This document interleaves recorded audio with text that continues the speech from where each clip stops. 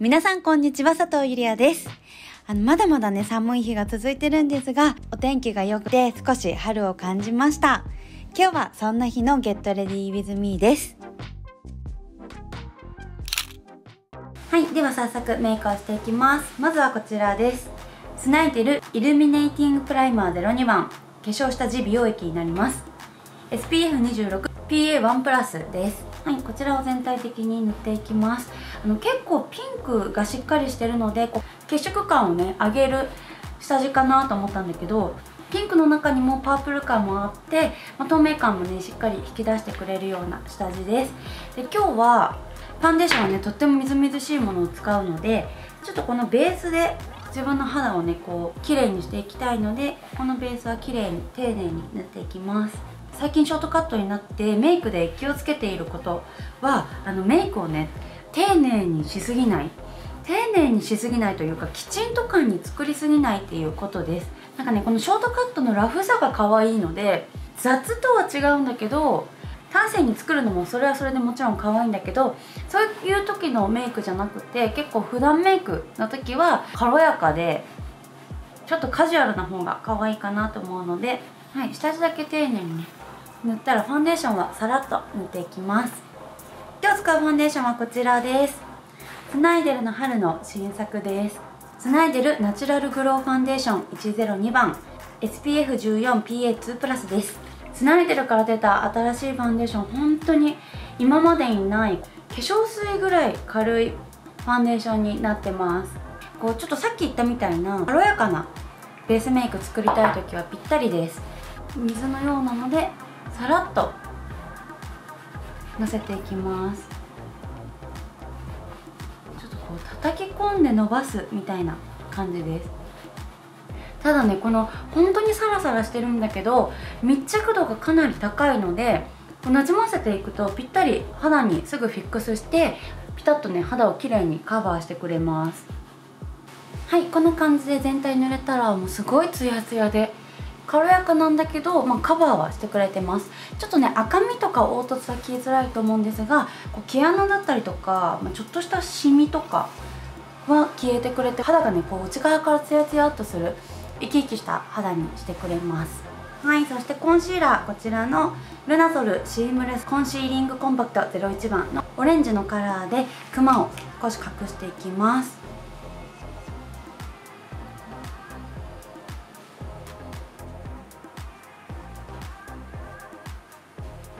こんな感じで気になるところをカバーしてツヤツヤな肌に仕上げたらパウダーのせていきます。最近ねまた気に入って復活してるこちらのディオールのスキンフォーエバークッションパウダーこちらを使っていきます。そう色自体がパープルでこの粉に含まれる水分量がすごく高いっていうのでこういうねツヤツヤの肌に作った時すごく相性がいいです。この眉毛のところここら辺ちょっと崩れたくないマスク当たるようなところ軽くのせておきます。はいこれね全体にのせてもツヤはね消えないので崩れが気になる方とか全体にのせても大丈夫です。久しぶりにね年末にリップを新しく購入しました。あのねベストコスメにたくさん選ばれていたので持ってる方多いんじゃないかなと思うんですが結構ね赤みがベースなんだけど、まあ、深さも感じるような色で、あの、スフレのようにこう軽いっていうタイプのものでこれずっと気になっていたんだけど、まあ、最近ね髪がボブの時はちょっとこう赤みリップの気分ではなかったのでちょっと見送るっていう感じだったんだけど髪を切ったら一気にやっぱりこれいいなと思って購入してみました。はいでこのねスフレのような、ね、質感がすごくおしゃれであのふわっとマットに塗るんだけどこの直塗りするとなんかこううまくいかないので最近ずっとこう指でつけていたんだけどヘアメイクのれいちゃんからこういう感じでね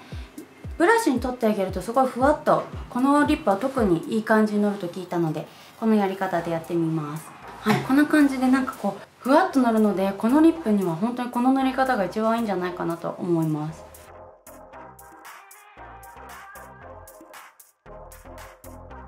この塗り方が本当にいいです。あの指でわざとこの輪郭のところぼかしたりとかふわってなるようにこうなんだろう落とすようにぼかしていたんだけど筆だと簡単にそれができるのでこの塗り方すごく気に入ってます。で今日はこれが主役なので唇に一番最初に塗ってからバランス見ながらアイメイク作っていきます。はい今ね一番気に入ってるアイシャドウこちらです。フジコタシパレホリフカボームです。とねこちらは2月に新発売になるフジコから新しくね出るこのカラーパレットなんですがあの一足お先にいただくことができたので最近これを使ってます。なんかほんとフジコって新しい商品たくさん出てほんとすごいなって思うアイテムたくさんあるんですがこれは今までのアイシャドウパレットって大体1つのパレットの中でアイメイク1つこう重ねたりしてアイメイク完成させてくださいっていうようなものが多かったと思うんだけどこれは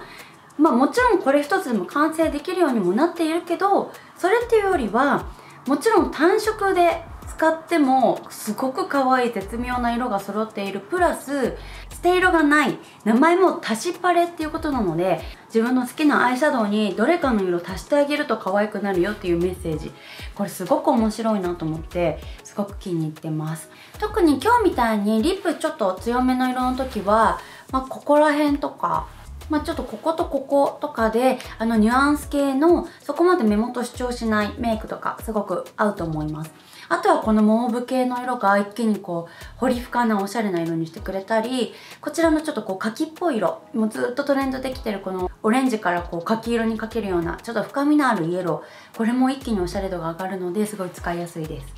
はい今日はこちらをアイホール全体に入れていきます。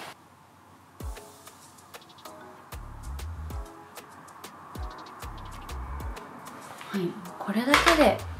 すごいおしゃれな色。そしてなんかこうふわっと塗るので透け感があるようなそんな色です、うん、これを iPhone 薄くね透けるように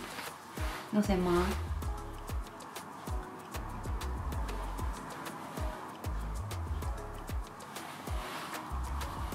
このブラシで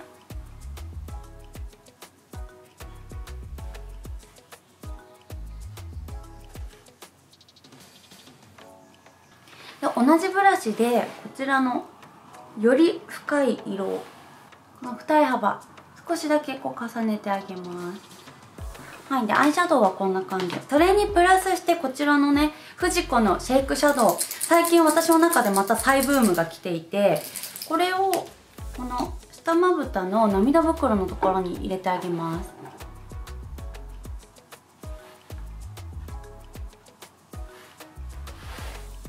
い、これがねあの、は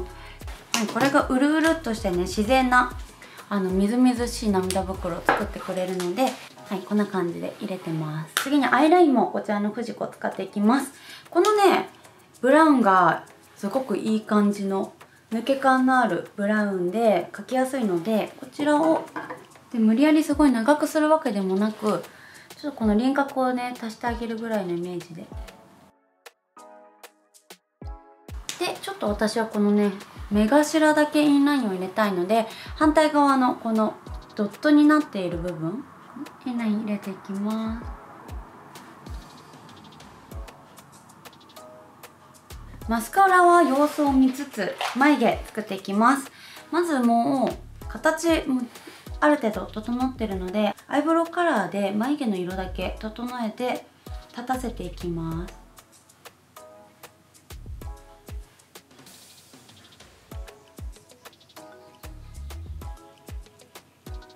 そしてこちらのルナソルの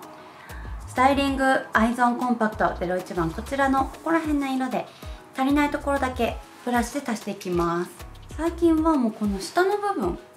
う輪郭をなぞるっていうよりもちょっとこの下を若干足すのとあと眉尻。もうちょんちょんちょんちょんってパウダーで足りないところだけ足すイメージです。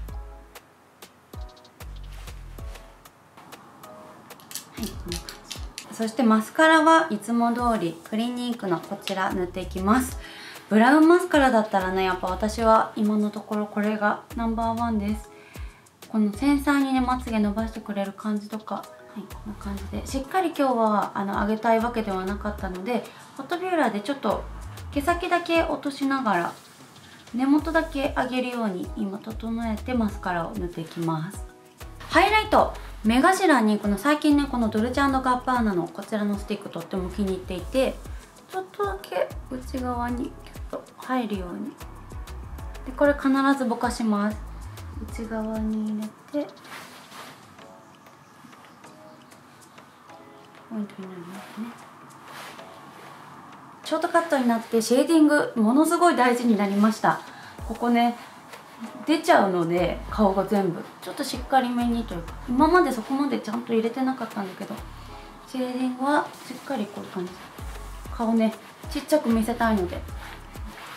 入れていきます。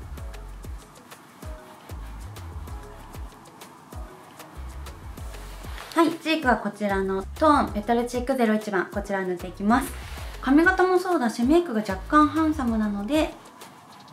ちょっと高めの位置にふわっとチーク入れてあげます。ちょっと目の内側から可愛らしく見えるように。色がね少し落ち着いたトーンなので可愛くなりすぎないのではい。ちょうどいいです。シャネルのこのハイライトを塗ったら完成です